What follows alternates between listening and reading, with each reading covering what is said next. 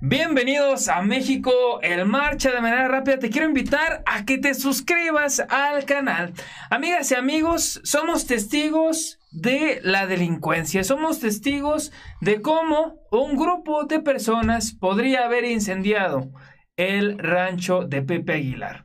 Hay que recordar que eh, recientemente el astro mexicano de la música, el, la leyenda Pepe Aguilar, tuvo un enfrentamiento con un personaje ahí también de la música, quien tiene muchos seguidores, especialmente jóvenes, que le perdió el respeto a Pepe Aguilar y se hizo de palabras. Por supuesto, después eh, este personaje se retractó y dijo que Pepe Aguilar pues era un grande. Bueno, el tema es que Pepe Aguilar, por un lado, tuvo la la discusión con, con, este personaje y por otro lado se comprueba que su hijo estuvo involucrado en una red en la que pues llevaban personas a otros países y, la, y les cobraban por ello. Le, llamaba, le llaman polleros en, eh, en el bajo mundo o tráfico de, de personas. Así que, pero bueno, vamos a ver cuál es la situación.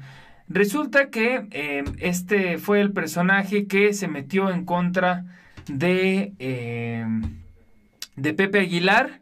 Dicen que el hijo mayor, José Emiliano Aguilar, reapareció en redes sociales y mandó un mensaje subliminal de eh, las organizaciones delictivas. Vamos a ver lo que dice este video de manera muy rápida. Les voy a poner la foto, ahí están viendo la foto de Emiliano, la gorra donde pueden esa parte de la canción que dice, si eres pobre te unía a la gente, si eres rico te tratan muy bien. Un amigo me metió a la mafia porque pobre ya no quiero ser.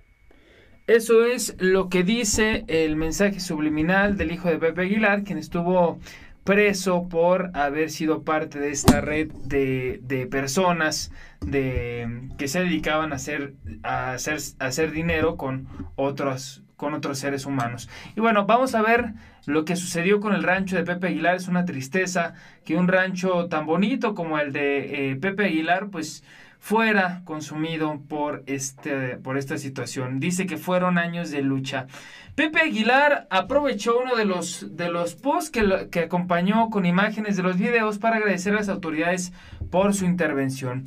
El músico Pepe Aguilar dio a conocer a través de su cuenta de Instagram videos sobre lo que consumió una de las propiedades de su familia, sin mencionar el lugar donde ocurrieron los hechos, el cantante ranchero lamentó que esta situación acabara con un patrimonio de años de lucha. Sin embargo, destacó que aunque se vieron dañadas mil hectáreas de pradera artificial, no hubo lesionados ni otras pérdidas de propiedades aledañas. Y dice, y es así como años de lucha, de sueños de entrega, de arduo trabajo se pueden esfumar en unas horas como mágicamente.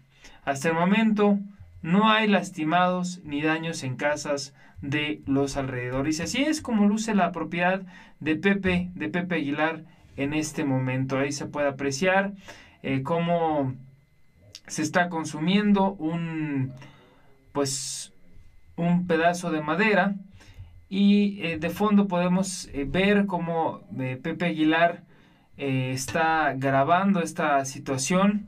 Una lástima de verdad que mil hectáreas se perdieron.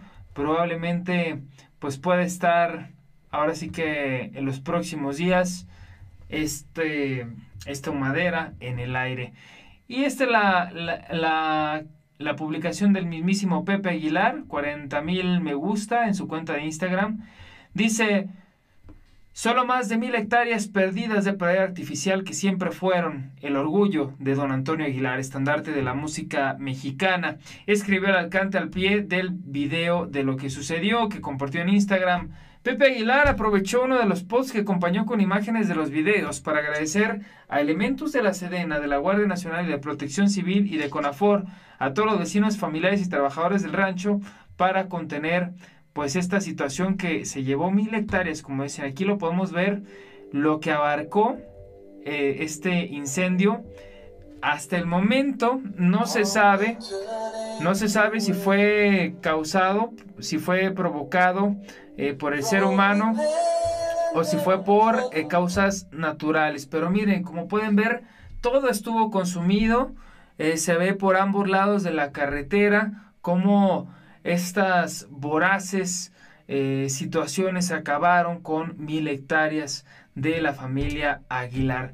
Déjame en los comentarios qué opinas. ¿Crees que pudo haber sido eh, parte de alguna venganza, de alguna revancha, de algún, ahora sí que de algún fanático que no le gustaron sus declaraciones contra el otro artista? Déjame en los comentarios. Lo que sí te voy a platicar es que como este, su hijo estuvo ahí involucrado con esta situación, Vamos a escuchar para que veas que no, no, es, no es una invención de nosotros. Aquí está eh, los vínculos que tiene eh, el hijo del cantante Pepe Aguilar con las organizaciones delincuenciales. Vamos a escuchar de manera muy rápida.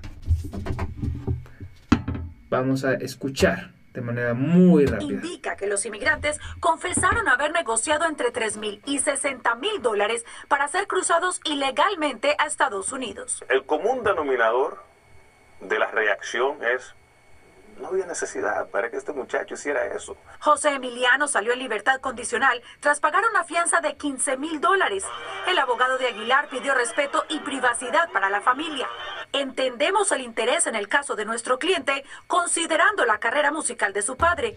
Pues así fue, así fue, amigas y amigos, lo que sucedió con el hijo de Pepe Aguilar, que salió bajo fianza. Eh, todo el mundo estuvo, estuvo sorprendido de que pues el hijo de uno de los cantantes más importantes de la música mexicana estuviera recluido en un enfrentando un proceso penal que bueno, ya otra historia es que salió bajo libertad, 15 eh, mil dólares se pagaron para liberarlo. Y bueno, no tuvo, mucha gente lo ve bien a, esta, a estas organizaciones que que ayudan a otros a cumplir sus sueños, a pasar para trabajar al otro lado. Sin embargo, pues se considera parte de uno de los males más grandes, que es que las familias generalmente son estafadas y que cobraban pues grandes cantidades de dinero para lograr ese sueño para, para los migrantes. Pero bueno, esta es la situación con el hijo de Pepe Aguilar y esta es eh, la situación con Natanael Cano, quien quien pues se pusiera el tú por tú con Pepe Aguilar y empezara a decirle de cosas. Vamos a escuchar las declaraciones. Por, mucha gente cree que fue él o algún fanático que le, que le prendieron el rancho. Vamos a escuchar de manera rápida. ¿Qué son los corridos tumbados? Pues la verdad, a mí no me gusta. ¿Por qué? Porque a mí no me gusta ese tipo de música. Habrá gente que sí se respeta, ok. Pero ahí vas a tirar mierda con las palabras más mierdas que puede existir. Entonces, ¿qué? ¿Eres un pendejo o qué? Pinche vato pendejo a la verga. Esto se refirió diciendo a Pepe Aguilar. No me hubiera emputado si hubiera dicho otras palabras diferentes, la neta. Pero las palabras que usó para describirnos, ¿qué puta madre quieres que haga? Pinche vato. Ay, disculpe las groserías, pero está hablando de Pepe Aguilar en este momento. De mi parte se puede decir a la verga. Tú y todos tus fans que ya están en la pinche tumba, todos tus fans a la verga. No existe ni uno. Ni mi mamá le gusta, güey. Ni a mi jefa. Ahí nomás dejando claro. A ver, señor.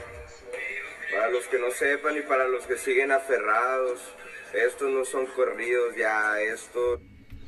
Miren, eso, eso fue lo que dijo de Pepe Aguilar, este, pues eh, Natanael Cano, en el que pues expresa el video, de, en, su video, en sus palabras, expresa el coraje que le tiene al músico de banda y por eso eh, se especula que pudo haber sido él o incluso algún fan el que iniciara este pues este accidente para, para Pepe Aguilar, esta desgracia para la familia Aguilar, en donde perdieron mil hectáreas o alrededor de mil hectáreas en un que se convirtieron en humo, básicamente. Pues déjame en los comentarios qué piensas tú. ¿Crees que se trató de un caso fortuito o crees que esto de Natanael Cano es puro humo, como dicen por ahí?